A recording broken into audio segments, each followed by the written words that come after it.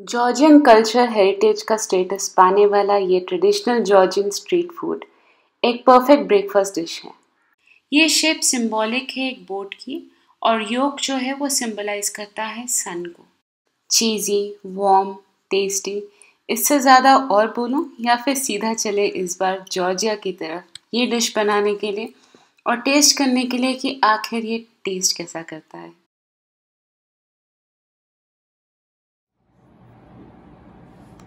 Power on. You've plugged into Nirvana. इसके लिए आपने one fourth cup lukewarm water में डालना है दो टीस्पून इंस्टेंट ईस्ट एक टीस्पून चीनी।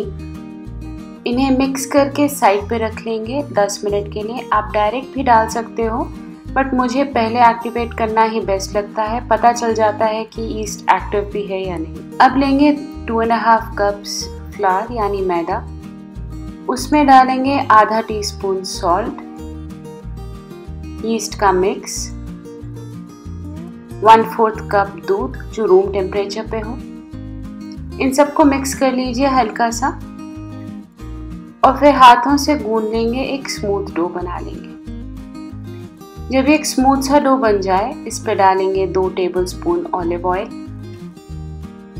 और इसे भी नीड कर लेंगे डो के अंदर।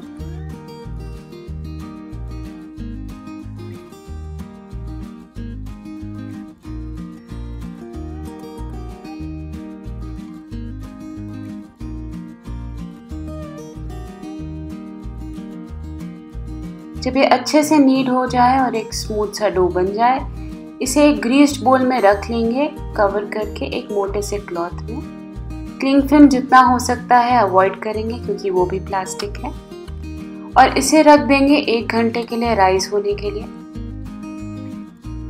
अब चीज़ मिक्स रेडी कर लेते हैं। इसके लिए मैंने यूज़ किया है मिल्की मिस्ट का मोजरेला और चेडर चीज़ तो 100 ग्राम्स मोजरेला चीज़ ग्रेट कर लेंगे।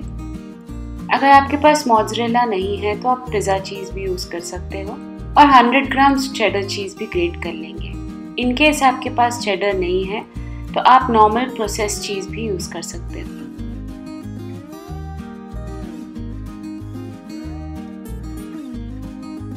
अब दोनों चीज़ को एक बोल में डाल लेंगे और फिर उसमें डालेंगे आधा टीस्पून सॉल्ट और वन एट्थ कप यानी two and half table spoon दूध, और मिक्स कर लेंगे अच्छे से।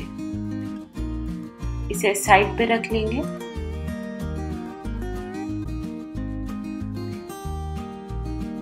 और हमारा डो राइस हो गया है एक घंटे के बाद, उसे निकालेंगे और डिफ्लेट कर लेंगे हल्का सा हाथों से।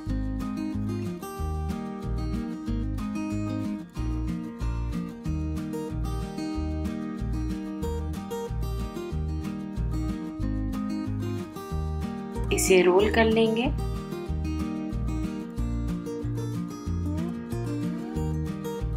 एक स्मूथ शेप बना के फिर दो पोर्शंस में कट कर लेंगे।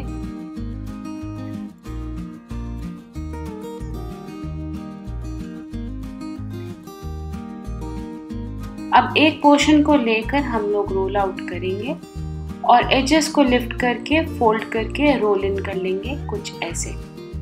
पूरे बॉल के अराउंड ऐसे ही नीड करेंगे ताकि एक स्मूथ सा, फर्म सा शेप बन जाए।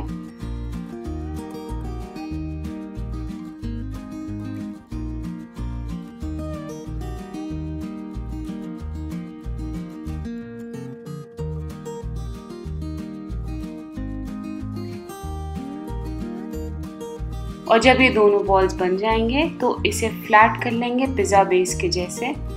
आपने सेंटर से प्रेस करके बाहर की तरफ़ स्ट्रेच करना है इसे और यूनिफॉर्मली फ्लैट कर लेना है थ्रू आउट चीज़ मिक्स इस पे स्प्रिंकल कर लेंगे। आपने पूरा सर्कुलर में ही करना है, बस एजेस में थोड़ा सा गैप रखना है ताकि हम लोग रोल कर सकें। और फिर एजेस को लिफ्ट करके आप फोल्ड कर लेंगे चीज़ के ऊपर से और ऐसे अंदर की तरफ़ रोल कर लेंगे।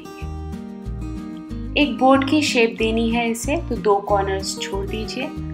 और फिर इन कॉर्नर्स को हम लोग ट्विस्ट कर लेंगे एक नॉट के शेप के जैसा। अब बीच में चीज़ का जो मिक्स है, उसे स्प्रिंकल कर लेंगे और सेम दूसरे बोर्ड में भी रिपीट कर लेंगे।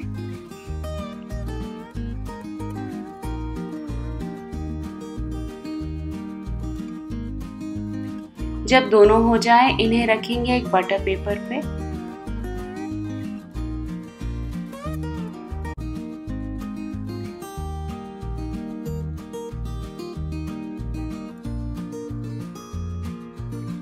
और ऊपर से थोड़े से थाइम के स्प्रिग्स डाल लेंगे। इससे फ्लेवर इन्फ्यूज हो जाता है। अब अगर आपको अच्छा सा गोल्डन कलर चाहिए तो उसके लिए एक एग ब्रेक करके उसे थोड़ा सा बीट करके ब्रश कर लीजिए। इसे एग वॉश बोलते हैं। अगर आप वेजिटेरियन हो तो आप मिल्क भी यूज़ कर सकते हो। मिल्क से भी ब्रश कर सकते हो। तो इसे अच्छे से सारे साइड्स में ब्रश कर लेंगे। आप डबल कोट कर लो ताकि अच्छा सा कलर आ जाए।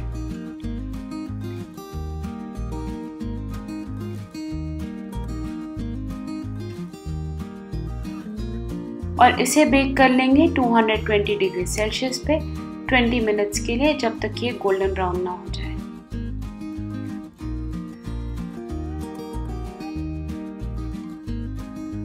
जब ये बेक हो जाए, इसे बाहर निकालेंगे।